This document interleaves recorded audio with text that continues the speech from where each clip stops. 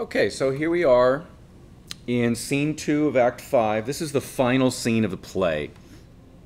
And there's a lot that still has to happen. So, this is another one of those scenes that really moves through a couple different stages. Um, you almost could imagine Shakespeare deciding to break this scene up into several, but he, he chooses to keep it as one long one. It kind of ends up having the effect of, of really being exhausting emotionally. Um, so, and maybe that's part of what he was going for. So it's uh, the scene starts with just Hamlet and Horatio. And uh, remember last time we saw them, they were fighting over. Uh, Hamlet was fighting with Laertes in the grave of Ophelia. Um, but now what's happening is uh, Hamlet is explaining to Horatio how he survived the trip to England um, without getting killed, right? I mean, how did he survive it? So he talks a little bit about what the voyage was like. Um, a couple things I want to identify here, especially in this scene, are the, the ways in which Hamlet's fatalism is emerging. This is something that we're going to talk about quite a bit in class. But look at what he sees says here. There's a divinity that shapes our ends, rough hew them how we will, right? Th- this is clearly a recognition by Hamlet that he's not completely in control of the destination of his life, right? We we may rough hew our ends, meaning we sort of rough cut them. We we make um, small changes, but ultimately there's a kind of divinity in the universe that shapes our ends. Um, I'm going to identify several other occasions in this act when uh, when Hamlet seems to be giving over to this sense of divine inevitability and tragic momentum that has now uh, taken over his life. Okay, so uh, this early part of the scene is really just details of uh, Hamlet's um, escape from the uh, the death sentence that was to be enacted in England. We find out that he stole the letter from Rosencrantz and Guildenstern, uh, and that he read the letter, and that the letter had a very specific command, and the command was that Hamlet's head should be struck off upon arrival in England. Okay, so the uh, so Hamlet was sent to England with his escorts, Rosencrantz, Rosencrantz and Guildenstern, with the order that he should be executed. Um, and, you know, the uh, basically that England should do this for Denmark as a sign of their goodwill towards each other, that, you know, England's king should do this for Denmark's king. Okay?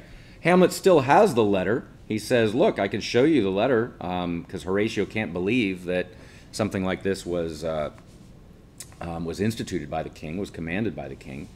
Um, but then Hamlet says, "Let me tell you how else I. Uh, let me tell you what I did after I stole the letter. I wrote a new letter. Okay, um, and let me tell you the effect of what I wrote. Uh, and the effect was that England and Denmark are such good friends." That as soon as uh, the King of England receives this letter, he should put those bearers to sudden death. The bearers of the letter should be put to sudden death. Okay? And then the letter was sealed. Hamlet just so happened to have his father's signet. Um, that's, of course, the ring that you would use to press into the wax that, um, that would indicate who, uh, who uh, addressed and wrote the letter. Okay? So, Rosencrantz and Guildenstern never knew that the letter had been swapped. Um, and then the next day, was when the uh, sea fight happened with the pirate ship that took Hamlet um, and brought him back to Denmark. And so, uh, and so that's the whole story, right? Um, Horatio's exclamation here, "Why? What a king is this?" Um, is really finally, I think, for Horatio, the the recognition just to the full depths of the evil and moral corruption of King Claudius, right? Um, and Hamlet finally recognizes look at all these things he's done, right? Uh, Claudius has killed my king, he's whored my mother, um, he's popped in between the election and my hopes, meaning he's, uh, he's usurped me, right? I was supposed to be the one who would have been uh, elevated to the throne had it not been for Claudius. Um, and, uh, and so he's basically you know, trying to ruin my life. And then finally, he tried to have me killed. Okay? Um, so, the uh, Hamlet says then um, that in this in this short time now, he says that he says to Horatio, "I'm sorry."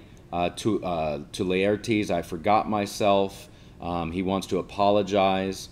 Okay, for the by the image of my cause, I see the portraiture of his. This is one of uh, Hamlet's first recognitions here, really, about the um, the the way in which he and Laertes are foils for each other. Right? He sees um, Laertes facing the same challenge that Hamlet faced. Right? A dead father um, and the, uh, the son's need for revenge.